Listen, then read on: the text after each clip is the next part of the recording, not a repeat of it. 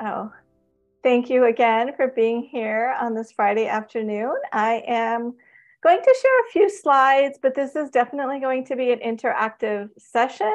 Um, so there will be times that I will be pausing to pose questions and then leaving room uh, toward the end for a interactive dialogue. So the title of my session today is Honoring the Sacred in the Secular Classroom. And the types of questions that we will be exploring today is are how do we make room for teachers and learners to connect with what they hold sacred while avoiding religious indoctrination or dogma? How do we open to interior ways of knowing via contemplation, intuition, and imagination while maintaining academic rigor and what role does the sacred play in our collective socio-political liberation? So those are some big questions. This could take a lifetime to explore. But I want to start by sharing my story. So currently, I am a core faculty member in the Women's Spirituality program at the California Institute of Integral Studies. But my academic journey uh, as a, in higher ed began with a graduate program in women's studies at the University of Washington, which was definitely a very secular program grounded in, I would say, more of a socialist, materialist, intersectional framework. I was in my 20s and I was really inspired by the sort of opening of my mind around intersectional feminisms. At the same time, I was going through a deep inner journey of dealing with depression, um, reckoning with familial trauma, trying to figure out the meaning and purpose of my existence. And I decided to embark on a path of meditation. Um, I grew up with a Hindu background, but because for various reasons that I don't have time to get into today, I decided to explore the Buddhist path of meditation. Simultaneously, I was reading all sorts of spiritual books, mystical books, New Age books, all sorts of things, trying to make sense of my place in this world. Um, and how did I make sense of suffering? How did I make sense of all the rampant injustice that not only had I seen or even experienced, but that I was becoming more and more, um, I was becoming more and more aware of through my studies. And I felt like I had a split personality at times.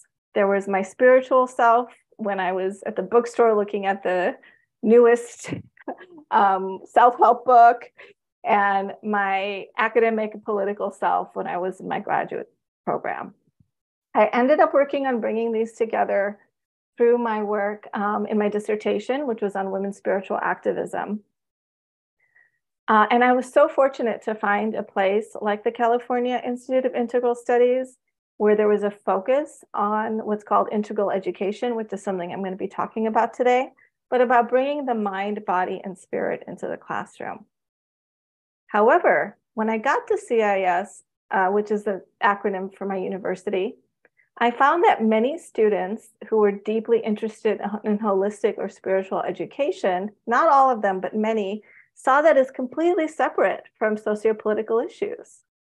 I would hear things like, you know, why do we have to talk about, you know, racism and sexism? Is aren't those identities just separating at us when we're, you know, all ultimately one? Um, I saw people who didn't want to read the news or didn't want to engage in what was going on. And so I really began to notice that this split um, was occurring once again between the spiritual growth of journey and the socio-political.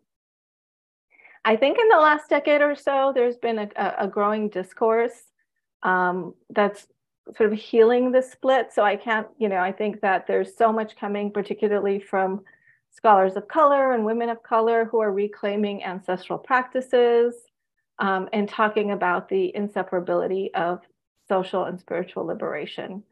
Um, so I feel very honored to be part of that growing discourse. So I want to, I shared a bit of my story. So I want to pause for a moment and invite everyone to reflect on the following questions. Um, and feel free to share. You don't have to share a long essay about each of these questions, but feel free to share a few words, a sentence, or some thoughts in the chat. We'll take a couple minutes pause to just sort of marinate in these questions. What brought you to this session? And I'm actually especially curious to hear your thoughts on the second question. What does the sacred mean to you? And what has been the key to your own, um, as feminist scholar Lata Mani calls, sacred secular journey? And she talks about that term to sort of like pull us out of the um, sort of split again, you know, recognizing that political, like we, secular society does offer something, right? We're not trying to um, move into, you know, at least I'm not into spheres of religious education or um, a sphere where everyone has to have the same religious or spiritual perspective. But at the same time, we don't want to cut off um, that part of ourselves that yearns to connect with something that we find sacred. So we'll just take a couple moments and um, I'd love to see some of your thoughts in the chat. Liz wrote, sacred means full heartedness and is connected to my spiritual being and is the foundation of authentic learning. So belongs in the classroom. I love that framing. Oh, courage. Sacred is courage to open to and listen to the heart. That's beautiful. So uh, you feel free to continue adding to the chat as I move forward. Um, so I mentioned previously that I teach at the California Institute of Integral Studies. And as part of my time here, I've been working on one of my areas of scholarship has been on developing an integration of um, a lineage called integral education with the lineage of feminist and critical education. And I don't have um, time today to go into the whole intellectual lineage of integral education, but my school was founded by um, followers of a philosopher, a mystic and philosopher from India named Sri Aurobindo, and um, his spiritual partner, Mira Alfassa. And they really believed that you know education should focus on whole person wisdom and not just on the intellect and not just on one aspect of ourselves.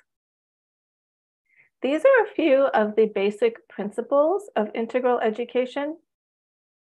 Integral educators believe that we must foster educational spaces where the numinous dimensions of existence are explored without dogma.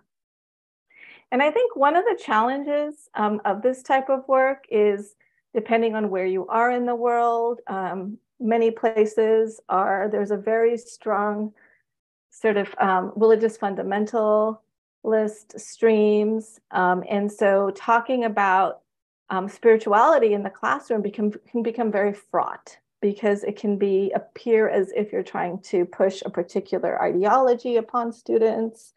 Um, and then of course, there are those who want to, you know, create more sort of um, traditional religious education, right?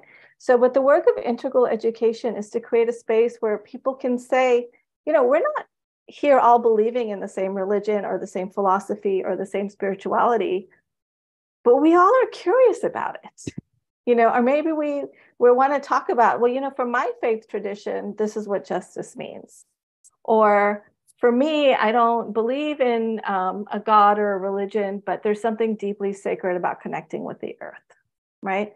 So to have room where um, people can use that kind of language and even talk about their faith without assuming that everyone shares that same faith or is, you know, that there's any attempt to convert anyone.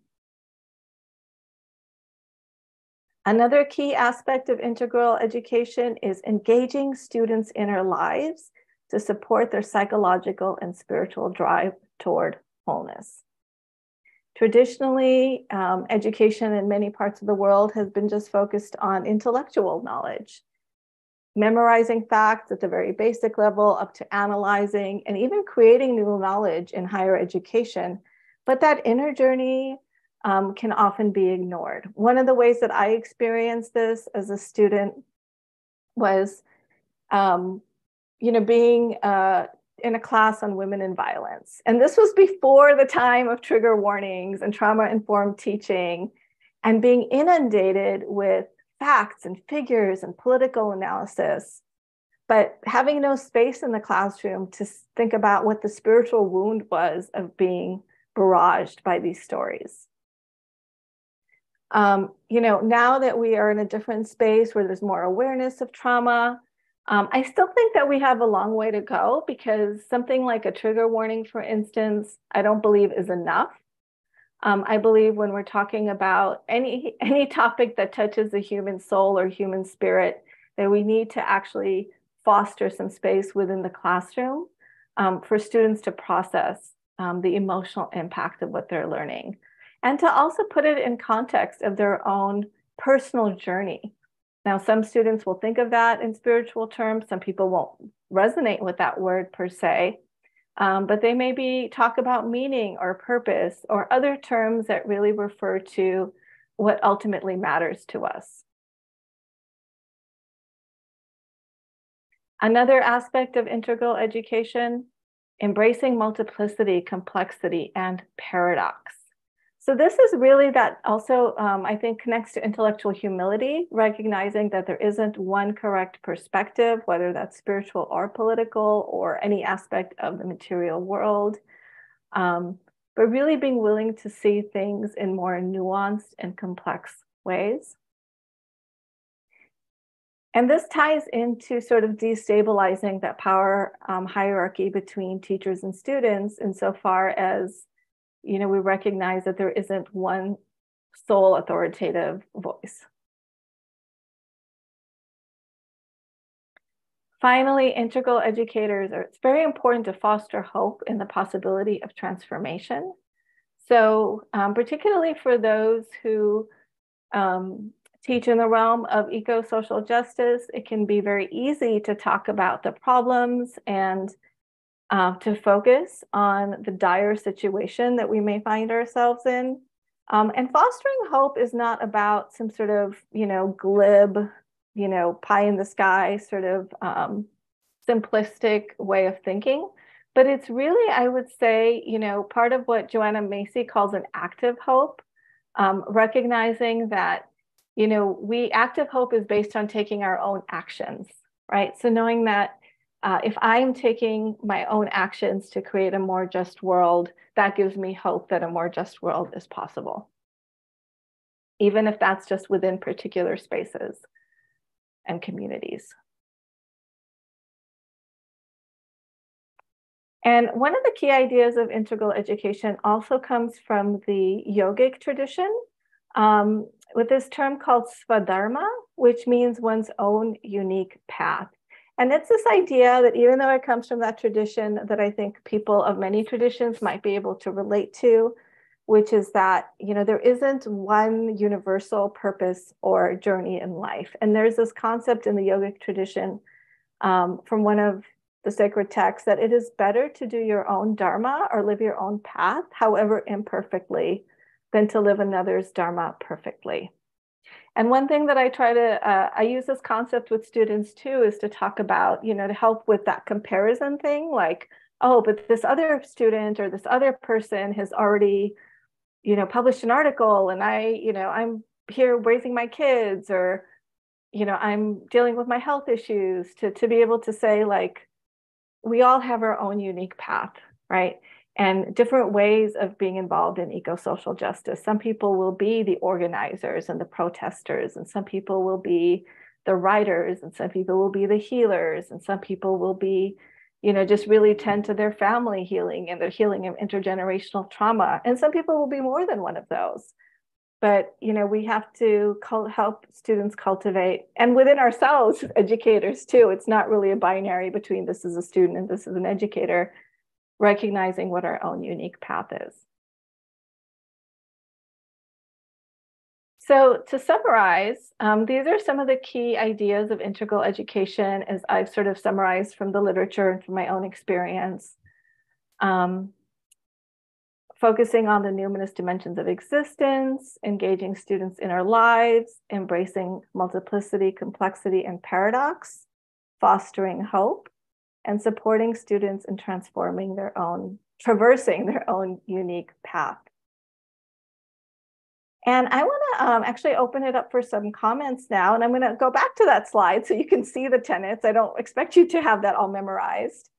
Um, is in what ways are you an integral educator? Which tenets do you resonate with? And in what ways would you like to grow? So it's really just a general reflection on these tenets. We'll take about, you know, between five and 10 minutes for comments, depending upon um, how many folks want to share. And it'd be great to actually hear some voices if you feel comfortable doing so. You're also welcome to write in the chat.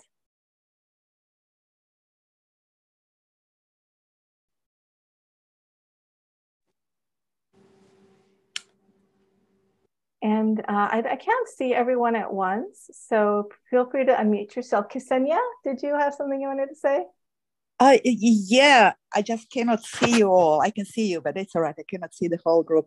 Well, my my thing is, how can I ensure? I'm a teacher. I teach at university. I teach social work, and my thing is, how can I ensure that I don't impose my beliefs because of my position of power. Mm. And ha- of course, you do that unintentionally, but you still do it. Mm-hmm. And I'm just thinking, how can I ensure that under the guise of this is totally non dogmatic, this is your spirituality, explore your inner self, integrative, and all that. So, what are the, I mean, supervision yeah anyway i was just wondering if you've got any thoughts about that how do you how do you keep your dogma in check because mm. that's, that's my great, question that's a yeah. great question and i would actually love to bring that question back to the collective um, and see if anyone has thoughts on that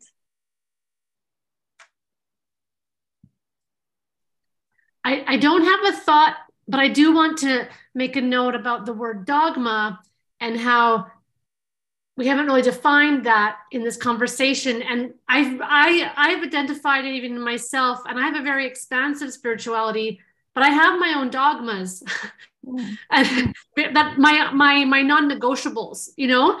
And so i i resonate with what ksenia is saying like i do have i have dogma.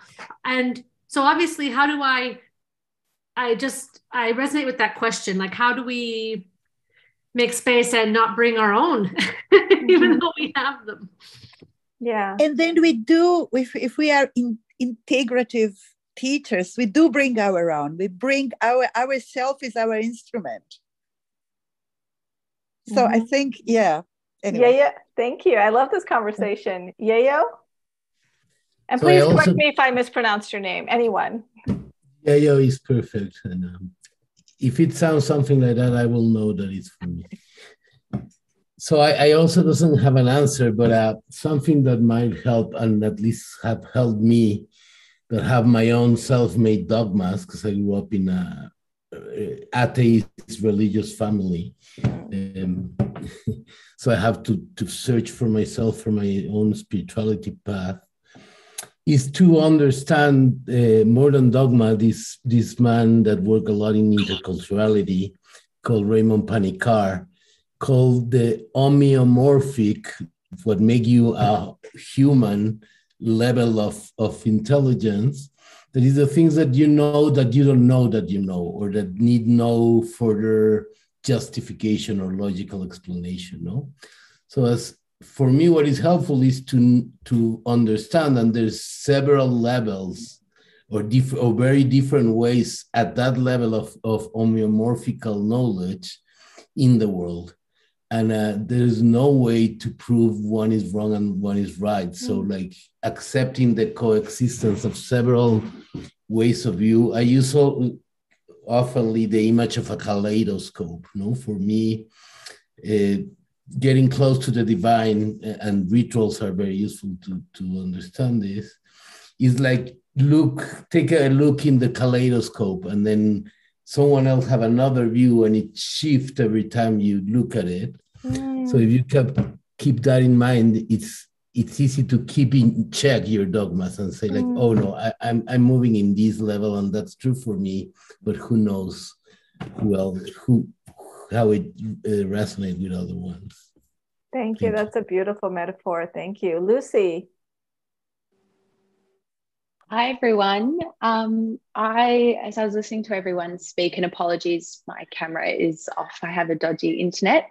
Um, as I was hearing everyone speak, I was reflecting on an experience I actually had as a student, which very much inspires my practice as an educator today. And that was being taken as part of a university subject to Auroville in India, where Sri Aurobindo and the mother have very much um, grounded their work and space in an intentional community. And there, my tutor led a group of 20 of us on what I would call a spiritual journey. And that question of how we as educators, I think, honor and acknowledge our own beliefs, practices, positionality in the classroom, whilst also opening up space for students. This was such a great example of that because I couldn't have had the experience I had without my tutor actually sharing her own beliefs and paths. But it was done in a way where that came with an invitation, as we've been talking about, for all of us to have our own experiences and actually discover what spirituality and the sacred felt like, looked like for us within that space. So I guess just to say I don't have the answers, but it is possible for us to hold those both things at once, an invitation for our students and our own our own beliefs. Thank you. Thank you. That was beautiful. And there's a um and I don't know if it's State or Sade said, proudly show your beliefs and encourage and support students to show theirs, no matter how different um, and I want to briefly speak to that and then um, give the mic to Devin, which is, you know, just like we cannot be fully politically neutral, we all have our standpoints based on our life experiences, based on the isms that we've experienced or the privileges that we've had. Um, there's a lot of power in making what is implicit explicit, right? So rather than letting your dogma drive your work without actually naming it, there's a power in saying, you know, I actually am an atheist, but I'm really interested in what how people think about the sacred. What does the sacred mean to you? Or to be able to say, you know, I am a practicing Catholic, but I'm very open to interfaith dialogue and, you know, to just be able to like I think it's a question of constantly interrogating oneself, but we can never be completely free of coming from a particular perspective or even dogma.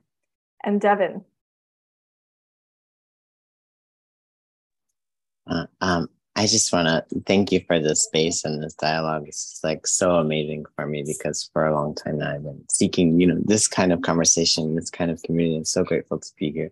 Um, one thought I had is just like you know the structure of the learning and the protocols can make all the difference in whether or not it feels like there's any hierarchy in the learning space. Um, and i was i was part of a workshop i helped co-facilitate about a year and a half ago. And the learning was um, you know around critical race theory and like so what if teachers are you know this big thing about critical race theory? Like what if we are teaching critical race theory? What's so scary about what it actually is? Mm-hmm. and the learning was really just you know there were articles that were sent out and then every time we met, um, people proposed um, breakout rooms and like proposed questions, and everybody chose where they wanted to be and and discuss the learning. And people could move between rooms. People could change. They could stay in one room. They could go to all the rooms. Um, there's the open space protocol, and people could choose if they wanted to be more like the, you know, the the bumblebee sort of moving from to room or more like the the butterfly sort of creating silence and space and staying in one place. And it was very, very powerful to see educators not dominating or or teaching as the expert. It was um yeah, there's there's some learning protocols that really invite um, you know, just sort of e- equity in the conversation, I feel like, and, and sort of mm, non-power dynamics. Yeah. Thank you for that beautiful reflection, Devin. Very much appreciated. I will add one caveat that um, this kind of thing can be tougher to do if you're in spaces where any of the students or learners are very wedded to trying to uh, believe in only one path, right? And at my current institution, we tend not to get so many of those students, but even sometimes people are very dogmatic about their alternative spirituality too. Um, but when I was a graduate student at the University of Washington, you know, I was um, TAing for my mentor uh, a class on gender, religion, and spirituality. And there was one student, young woman, who was very much um, a, a, quote non-denominational Christian that was, you know, really believed that that was the only path, right? And everyone else was going to burn, right, if they didn't believe that. And you know, I wasn't very developed in my pedagogy at the time. Um, but when if I think about now, like how would I handle that? I think it would have to be with like very clear learning protocols right at the outset of the class. Um, and if this is in a space where it's an elective course, that a student could like like if this isn't something you're willing to agree to, that we're not going to proselytize, um, then this maybe is not the course for you, right? Um, but if it's in a different sort of space where the student has to be there, I think it's really about, you know, sort of accepting that that's where that person is, but you're not going to let them, you know, as a facilitator, you have a responsibility to not let them harm anyone else. Um, and by intervening again with, you know, group agreements and protocols around um, not putting down other people's uh, beliefs or orientations or things of that nature. Renee.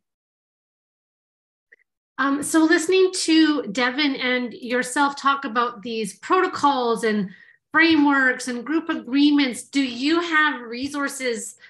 Maybe we're getting there to recommend, like, you know, like here's what I use, or here's, you know, a, a document that kind of can walk you through it. Because those things are really helpful. Like what you guys mm-hmm. are saying sounds really helpful. Thank you. And if you want to get in touch afterwards, I'm happy to sh- send some of the agreements that we use very much in my program. Um, but in my teaching, sometimes what I'll do is start with just a few core agreements like confidentiality, um, and then really collectively create agreements based on what the students want to add to the space. Um, and and again, it all depends upon how much time you have, right? Like I, if this were a longer workshop, I might have taken a few um, minutes to actually share some agreements. If this was a two day workshop, we would actually collectively come up with some, right? So you kind of like, and if it's a full class, right, then I, and you build in space to collectively address them. Um, yeah, and some folks are saying that they they do spend that time and think that it's very important. Um, and, and it can, you know, taking that time up front can actually end up um, kind of reducing some friction later on, which can also which also takes up a lot of time to deal with. And, and not to say that it completely obviates it because things still do come up. And we have a great link here to the art of hosting. So thank you everyone for that wonderful dialogue. And I'm going to check that book out too, The Art of Holding Space. Um, I want to move on and then we all we will have some more time for dialogue uh, toward the end. So I want to talk a little bit about politicizing integral education. I sort of already implicitly talked about that, um, but I have written, published around a model called integral feminist pedagogy, which I'm happy to share with folks um, after the session is over. But uh, I mentioned earlier that when I first came to CIIS, I noticed that even though founder of integral philosophy was actually an anti colonial revolutionary. When integral education came to California um, and was taken up by middle and upper middle class white folks, it was often depoliticized, right? It was like, I got to get my spiritual healing and I got to do my cycle, look at my shadow and my psychological growth and kind of step away from all that, you know, or not even be aware of race, class, gender, sexuality stuff. So um, what I argue is we really need to bring that piece back um, and that integral education in a contemporary context is best when it's integrated with insights from feminism, critical pedagogy, decolonial pedagogies, which also indigenous pedagogies, eco-pedagogies, and others. Um, and, you know, the I may not have time today to get into all of the nuances of that, but it's really sort of recognizing that we are we have um, a political identity and we also have our spiritual um, our soul journeys you know whatever that looks like for each person. Um, and that our individual journeys are embedded within a larger socio-political um, and ecological space. And that we're looking at, you know, really recognizing and transforming some of those power relationships and recognizing that, you know, spiritual spaces, whether they're in um, traditional religions or, you know, um, more modern, you know, sort of idiosyncratic spiritualities have been very much imbued with power imbalances, right? So we have to name the sexism and the hierarchies and the homophobia um, and recognize that those are part of our spiritual traditions too. Um, and that, you know, it takes a lot of um, sort of inner and outer work to, um, to develop new ways of collecting around our souls and our sacredness that doesn't reproduce those historical hierarchies. And so part of politicizing integral education is really like recognizing that we're focusing on collective transformation rather than hyper individualized spirituality. Like I said, I do see a lot of really good movement in this area, particularly in the last 10 to 15 years with the work of folks like Resmaa Menakem, um, a lot of who talks about, you know, somatic, um, somatic anti-racism, um, folks who are looking at intergenerational trauma uh, and healing right? Which has this like that healing has a spiritual component, but also this very much political component. So, what are some of the ways that this ties to eco-social justice education? So, we I talked about some theory here, and let's want to talk a little bit more about application. Um, and there's you know many many different ways of applying this, and I'd love to hear your ideas. Um, but I see part of it is if you are a social justice educator, an ecological educator, really support students' thirst for meaning and purpose. Now, if you're in a space where, you know, it's sort of verboten to use the word spiritual or even soul, like there's other ways to get to what's sacred to people by talking about what is it that's of, as the, you know, theologian um, Tillich has said, like, what is it of ultimate concern for you, right? What is it that gives your life meaning? Um, how do you see your purpose? Um, encourage students to draw upon, again, depending on your space where you can use the word spiritual or not, but their own values and practices. Um, again, rather than imposing what yours might be, you know, whether that's, you know, for someone it might be prayer, for someone it might be spending time in nature, for another it could be mindfulness meditation. Um, and also, I want to just name that we are in a time and space where um, the youth especially um, i mean i think everyone but you there we know that there's a mental health crisis um, at least very much so in the united states and i imagine it's happening in other places as well. Um, and, and, i think that part of that can be when there's a lack of connection to meaning and purpose.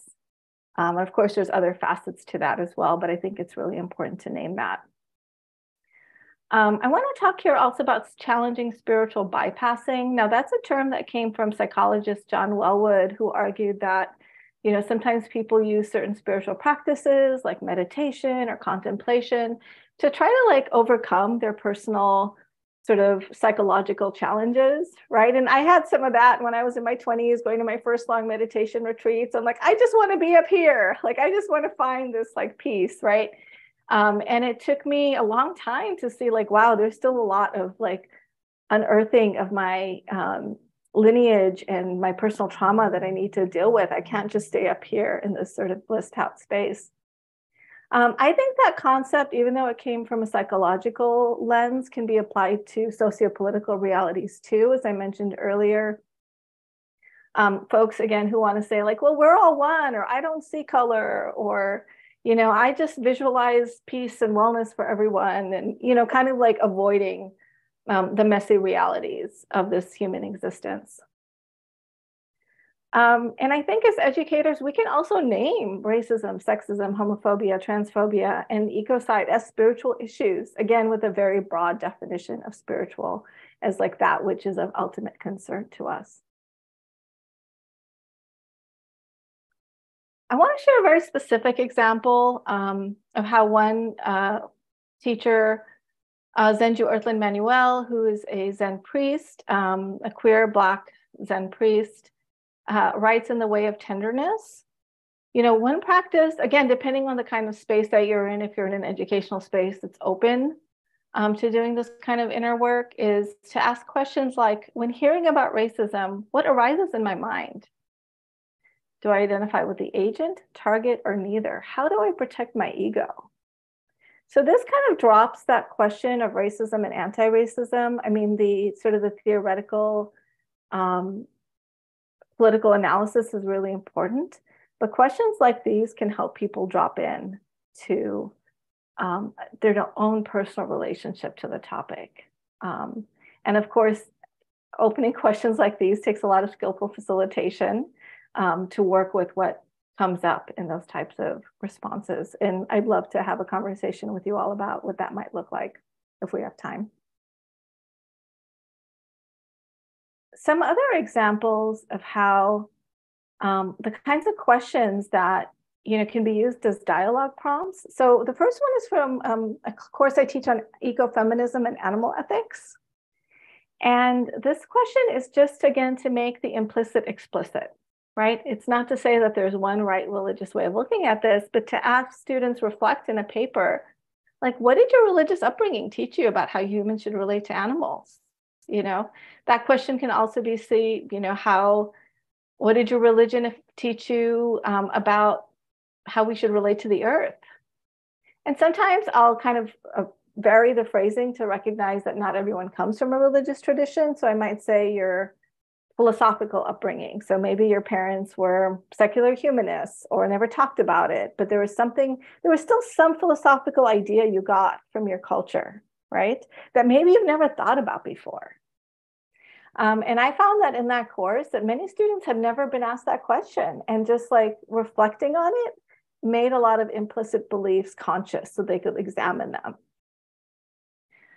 Um, other questions that kind of get to like meaning and purpose is what motivates you to work toward eradicating racism? Um, the third question is really about cultivating our imaginations, right? So it's about like, what would a day be like in a world without sexism?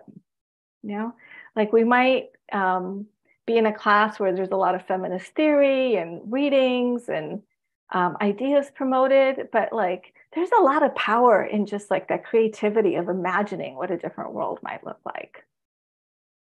Um, I think another sort of question that gets to what's sacred, um, because I think of also like the sacred as having a sense of innate worth and dignity, right? So a question could be like, how do we maintain self-regard and dignity in an unjust, unjust world, particularly those who've been, you know, marginalized or even demonized for their sexuality or their race or, you know, being a woman or a non-gender conforming person, right? What are the ways you can open up that space and ask students, like, what gives you that um, that inner spirit, that self-regard, right? People can get ideas from each other. And then that piece about that personal dharma or path, you know, could be a question if you're teaching a question that deals with a course that deals with ecology. What's your unique contribution toward ecological and social change, right? Not everyone's going to be doing the same path or being the same sort of activist or, you know, um, scholar or worker in any way, right? But really giving space and time for students, not to say that they have to have the answer right away, right?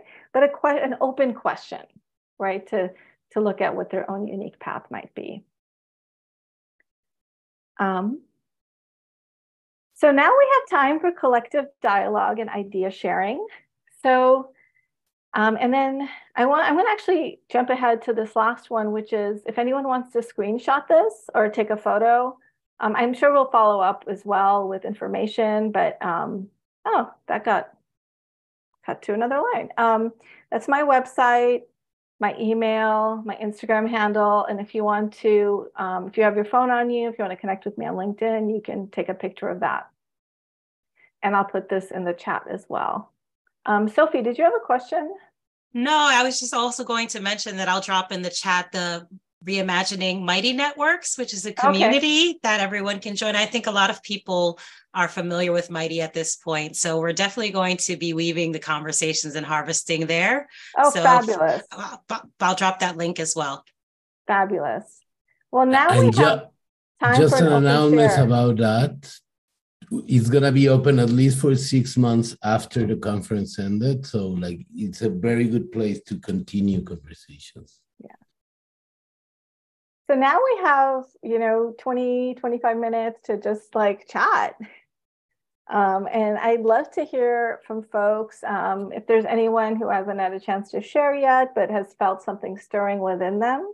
And what I would really encourage you to think about is that if there is something stirring within you that feels like it needs to be said, that it probably will really support others in this community. Um, and I understand it can be challenging to speak up with a bunch of folks that you don't know. Um, and if it feels like there's something that wants to be said, um, this is an invitation. And of course, you can also put comments in the chat as well. If I, I, I can't find my raise my hand, but if I could speak, I'm Paula Petrie, and um, yeah, I, I love this conversation. I'm uh, I kind of bailed uh, from academia um, 15 years ago and went into shamanic energy medicine studies, and now I'm blending everything for youth. And um, I feel that uh, there's well, there's so much resistance in traditional education. It's it's having to create things on parallel tracks, but I'm feeling that the support of science now with the the science of consciousness, the existence of the information field is a really valuable uh, content to be interwoven into the discussions of spirituality and just would like to have uh, your thoughts about that. Oh, wow. Thank you so much, Paula, for sharing. I really appreciate it. May I ask uh, what discipline you were in? I was in uh, I was in the School of Medicine, Department mm. of Pediatrics and Disability Studies, coming from a family centered care perspective, and teaching that and working in disability advocacy for for 25 years. Thank you. Thank you so much. I, I, can relate to what you said about sort of having um, absconded from academia. I was very close to doing that myself. Um, and then I found, you know, a place like CIIS where I could I could do the work that I do. And, and I think that more people are doing it in other places as well nowadays. But um, I think that sort of the scientific validation of um, traditional, ancient, and cross cultural spiritual examples is a double edged sword. I mean, on the one hand, um, I think it does create more room and space for people to bring things in like mindfulness into the classroom because it's been secularized and divorced from its religious context um, and you know verified in scientific studies about the benefits of mindfulness and things like that. But then the the downside of that is that it's sort of like we're still centering um, a western scientific materialist worldview. Um, and and sometimes divorcing practices like mindfulness from their cultural and you know ethical roots right? Um, like uh, yeah it's very tricky because like and there's a course that i teach where we read this book called extraordinary knowing um, where the author gives examples of you know doctors who like shared their stories of like um, basically non-ordinary stories of seeing uh, knowing when it was time to operate on someone because of a certain light that they saw. Or like these sort of like mystical stories. And because these stories came from doctors and scientists it like added this weight to it right? Um, and and i think for some people who are in that worldview really need that right? We really need to see these kind of ideas validated from within people within that worldview. Um, but then i think in parallel, others of us might need to be like, you know what, I don't need that that justification, right? Because I'm going to justify my beliefs within my own cultural lineage or something different, right? Um, so yeah, I really think it's it's double edged, and but I, I, do think that it it can help in some ways, um, in some contexts. So thank you for that, Paula.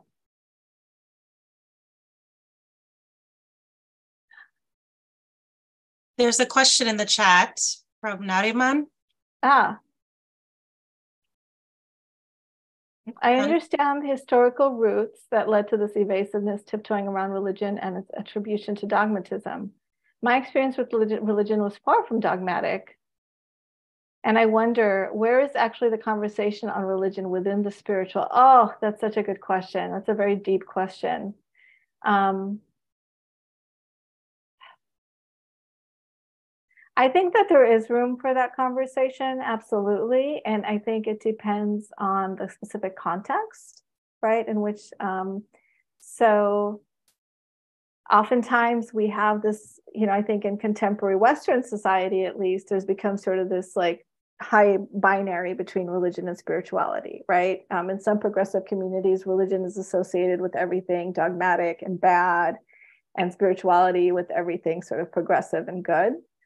Um, and yet there is a, a, communal and social and ethical aspect to religion, right? That can sometimes be missing in like hyper, very individualized spirituality. And you know, some spiritual folks can also become very dogmatic and create their own sort of cults around spiritual ideas, right? So I think we do need to complicate that binary a little bit.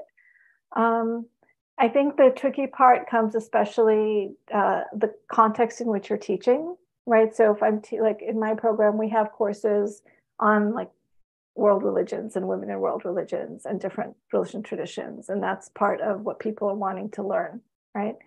But I think if you're, um, I don't know, within a different context, it, there can be some danger, I think, in in because of political secularism, right? In like being too associated with a specific religion, right? Because then it becomes, it doesn't, it's no longer a secular education then. Um, but yeah, I don't know. I'm just kind of thinking aloud here. So I'd love to hear other people's thoughts as well. You know, especially thoughts that are grounded in your, your specific context.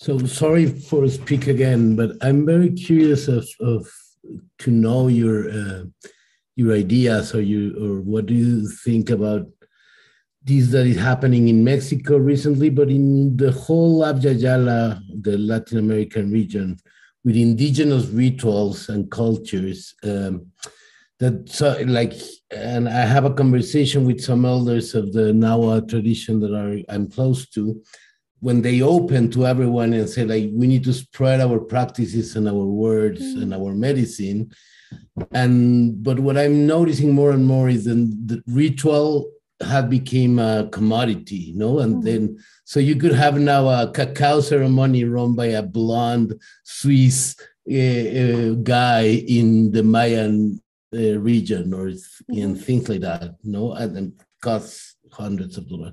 So when I asked their opinion of that, they were saying, it really doesn't matter if the purpose is right. So the ritual, it, it really does, there's no dogma how you do the ritual because actually the ceremony starts when the ritual finish. You know, it's a, the ritual is only about to share uh, for you to remember what is the important things of how to live because that is a spirituality, is the things that you do every day.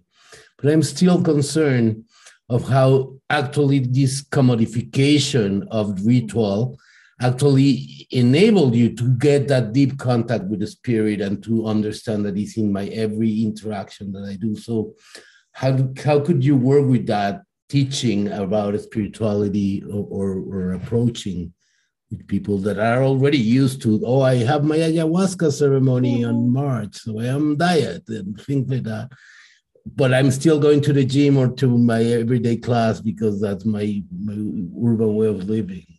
Yeah, that, that that's a profound question. And, and again, sort of to decenter myself for a moment, I want to hear other folks' thoughts on that.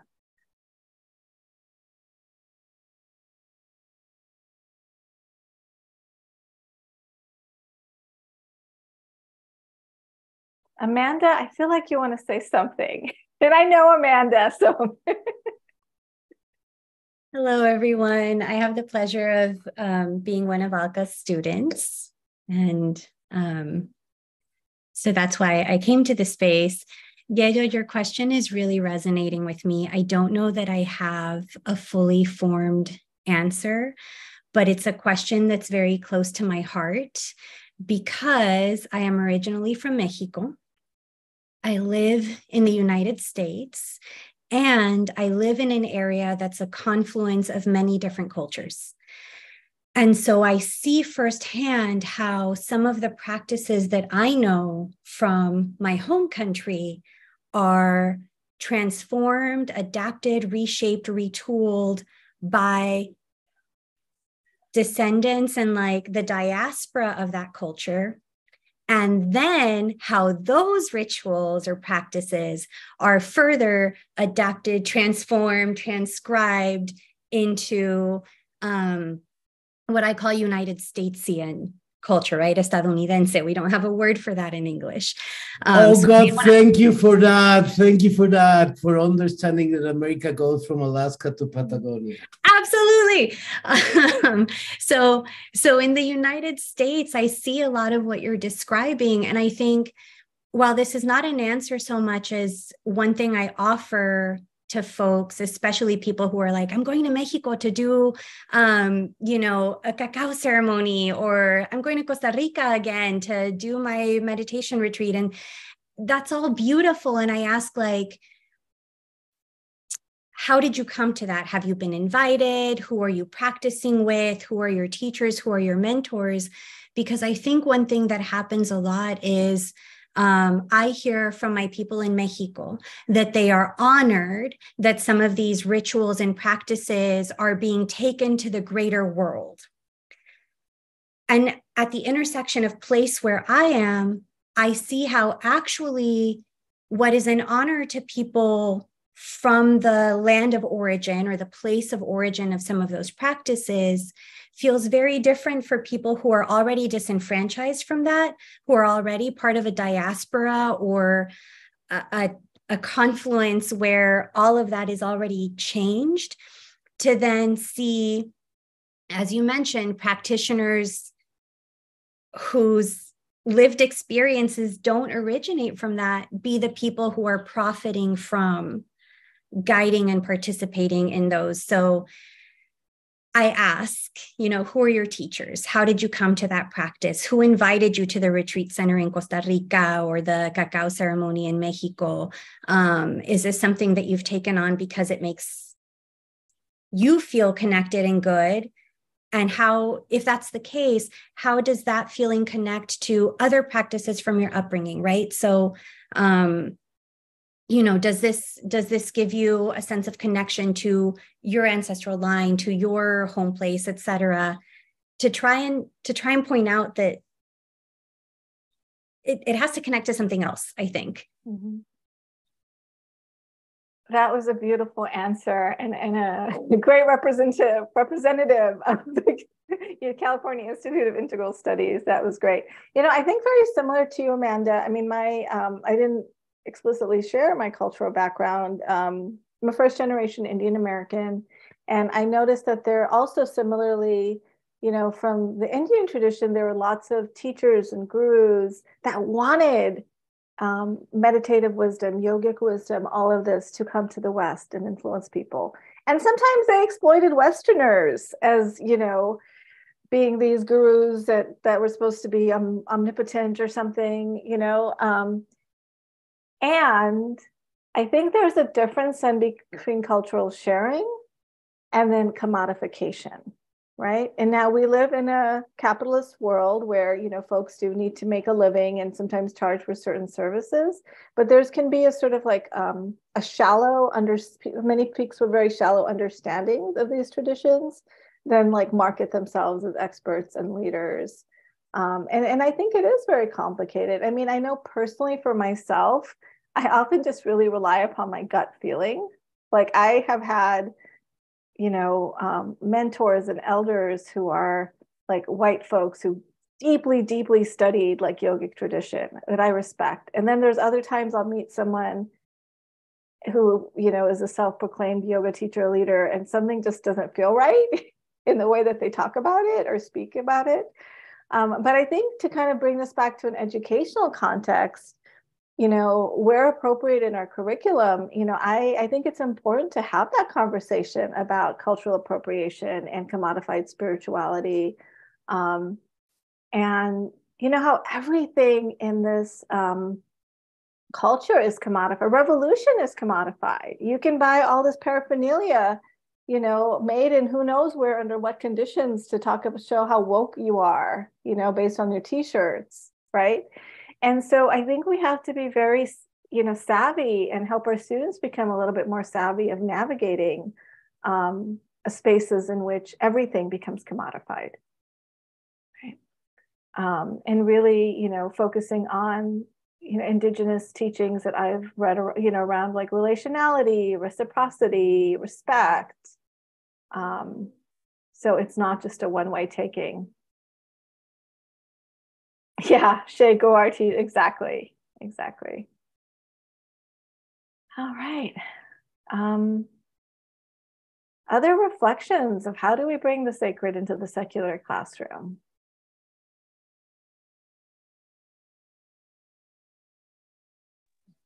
I think we cannot not, in a hmm. way, because I think we are spiritual beings. Mm-hmm. And being teachers, we inevitably, I mean, not inevitably, some people try really hard not to. But if we bring our whole selves, mm-hmm. then spiritual is part of that. And then it resonates or not. And as somebody put in a chat, if we bring our own vulnerability or if we bring our own spirituality, that open space where students can willingly do that or not. Mm. Yeah. So I think it's it's yeah. Uh, but but having said that, I may say something contradictory. At my university, I'm doing it undercover. Mm.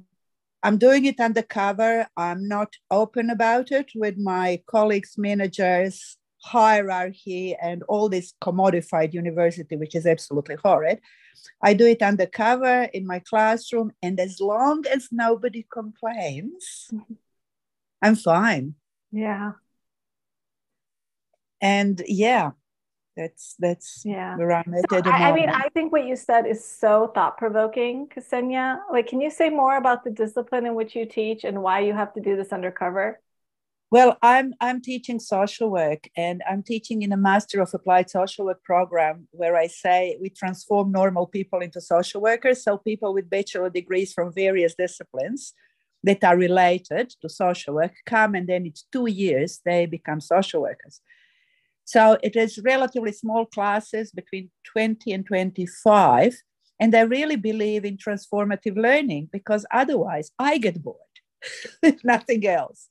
So I really believe in transformative learning. And I think that one cannot become an effective or competent social worker unless they address their own spirituality because our beliefs shape what we do.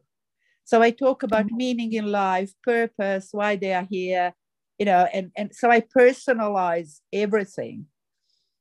And in many years of my experience, students liked it. However, you asked me about undercover. Uh, we've got uh, tick boxes, we've got learning outcomes, uh, we've got separation between secular and um, spiritual or religious. I've got students who do PhDs and thesis on it, but it is pitchy and and I'm safer mm. to do it undercover. That's mm-hmm. what I believe. I don't know. Yeah. That's my belief system. But yeah. um, it's still in its baby phase, I think. Mm-hmm. Thank it's you. Still, Alter- it's yeah. perceived as being alternative, wacky, different. Yeah. But I find that students really resonate well yeah. with it. Thank you. And I think sometimes we do, as educators, need to do things undercover, just like in places where people need to teach critical race theory undercover. Oh, totally. Because, and know? I think it's all related. Yeah. I think yeah. that spirituality without political arm, strong political arm, is flaky. Yeah. So I think it's all very integrated. Yeah. Thank you. And Amanda again. I hope it's okay. Um, Absolutely. Um, yes. Thank you. I think to your question, how else to honor the sacred in the secular classroom, and to some of what you're saying um, about having to do undercover um, or maybe strategically is a word I would use. Um, when I when I think about what aspects of the sacred are really key to me when I think about how I would distill them. There's some of the things that I've heard us all in conversation about during this time. So, offering space for students to be in reflection, for mm-hmm. students to process difficult subject matter, um, including sometimes, you know, if we are dealing with issues of race, um, of trauma, or just what it is to read statistic about one's lived reality, to have space for people to breathe, to process, to come to their responses, I think that is a practice of contemplation, of meditation, of sacredness. When I think about inviting students in with their whole self and holding the student in their um, and and I say student, but I mean as co-learners and co-teachers, right? For every person to get to come into that space as their full self with their dignity, because for me, the sacred is what connects my dignity to the dignity of all beings or of the the planet that we live on. Um, so to be able to see each person in their wholeness um, is another way to bring that sacredness into the secular classroom. And then to have a co creative, collaborative space precisely by coming up with some of these um, guidelines, agreements, uh, touchstones, so that everybody feels invested in the wellness of the group of of a whole. I don't know that any of these things I'm naming are explicitly spiritual, um, but I think they are for me all part of sacred work and spiritual work. Mm-hmm. And so, especially in spaces where we have to do it strategically or undercover, these are some non denominational, maybe non specifically identifiable ways to bring that in. Um, even to state institutions, which is, you know, where a lot of my learning has yeah. taken place. So well said. So well said. And I, I want to acknowledge, you know, um, the comment made in the chat, which is that there's something, someone, Liz is having some feelings about um, being below the radar. And Liz, do you feel comfortable saying a few words about that? Is it that it feels inauthentic or sneaky? I think that's it. I think um, that you know my journey um, has led me to um, recognize that I live fully when I'm mm-hmm. living authentically, mm-hmm. when I mm-hmm. live uh, in alignment with my values. And, you know, I'm not 30 mm-hmm. anymore. And uh, I, I just want to live that way. Um, but I also, um, you know, a big part of my purpose and meaning is, uh, you know, helping to contribute to the shift in education and what counts as learning and knowledge mm-hmm. and education. And so I bring in all these, um, you know, diverse and radical ideas. And, mm-hmm. and I mean, the feedback I get from students is absolutely phenomenal. It's mm-hmm. absolutely, you know, off the charts phenomenal. I have no issues with that. But I have to kind of, you know, be a little covert and fly under the radar. I call it sometimes being creatively compliant. Mm-hmm. You know, that's uh, yeah. a term I have come up with to describe some of the things I do. But honestly, like I'm, I'm, I'm just getting a little bit fed up. Yeah. Like, I don't know what the term the term is. I don't know if it's tiring. I because it's one more thing to think about instead yeah. of just being able to go and be me. I have to be like, oh yeah, be you, but like you know, just tone it down a bit, Liz, because so and so will be there, or so and so might be there, or fuck that. Yeah. Oh, I, I just want to do it. I get, I get it, I get it, right? Because the, these systems can be very oppressive and you know i don't i, I feel like called to share this. I um, last year i read this book called fugitive pedagogy and it was really about the black intellectual tradition um, and lineage of teachers living in deeply segregated and racist spaces where they had to very much undercover like try to teach a more um, affirming of black lives and realities um, education in the classroom and they had to face like you know losing their jobs getting their houses stoned i mean all kinds of violence right for wanting to teach a more liberatory pedagogy and when i read that it kind of like was sort of shifted my perspective a little bit and thought like, you know, um, the risks that I have to take are so minimal comparatively. Um, and you know, where like where is it time for me to take a more of a risk and be open and you know let the administration slap you on the wrist or something? And where is the time to well you know what is actually in the best interest of the students for me to stay here and keep doing this undercover right? So and, and i think everyone's path through that is going to be is going to be different. And you know and again i'm, I'm very bla- fortunate to be at an institution where i don't have to be so undercover. But i imagine if i were teaching back at my alma mater and other spaces I would be engaging in many of those same strategies. Um, so I, I, think it is a really interesting line between, you know, doing it under the radar and yet, and also trying to push against some of those institutional barriers um, by maybe, you know, having to create reports of how this has been shown to help student learning or, you know, those types of things that administrators like. Um, but I'm so grateful to each of you for adding your voices or for just even being here and listening. Um, really, really enjoyed this conversation. Um, well, I look forward to crossing paths with some of you again and uh, have a great rest of your day.